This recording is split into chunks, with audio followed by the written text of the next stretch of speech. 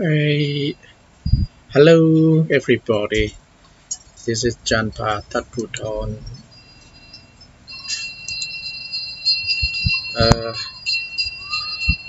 what I'm talking to you now is about your final examination for uh, EL 343 cross cultural communication. So many of you would like to know uh, the, the outline of the exam and the topics for uh, studying for the exam. The, on the screen you can see the topics. So first of all you need to know the meaning of culture, all the cultural theories and the ideas we discussed just before midterm. Those are the foundation. You cannot just throw them away. On top of that, you need to understand the you should be able to analyze the cases and the concept of cosmopolitanism, you know, global citizenship, ASEAN globalization, and global values uh, like civil society. We also discussed this in the classroom. Uh, you need to look at the cross-cultural communication models like the ACA model by myself and the Dell Hymes speaking model and the new concept like cultural sensitivity, cultural awareness, and cultural competency and the difference between socio-pragmatics and uh, pragmatic linguistics.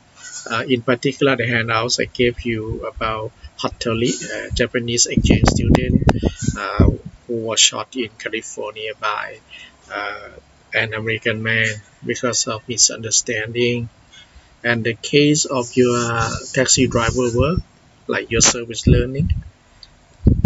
And also, I want you to focus on the the high context and low context culture, and also the verbal and non-verbal language like gestures. So these are just the general topics. Now for the exam, there will be two parts. The first part will be on the concept.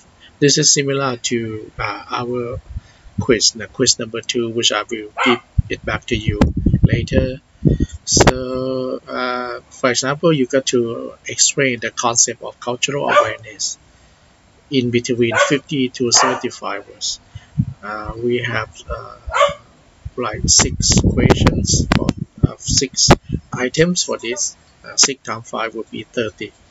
And the second part is the essay writing part. You know, basically you need to discuss your some topics as instructed like this one uh, discussing how social media are affecting Thai culture and suggest three ways to help prepare you know Thai students for the new challenges.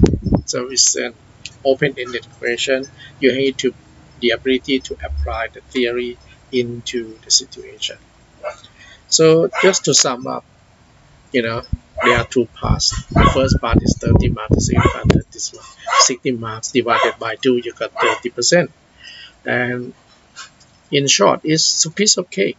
So do a bit of preparation. It's not rocket scientist thing, so you should be able to do it. Believe me.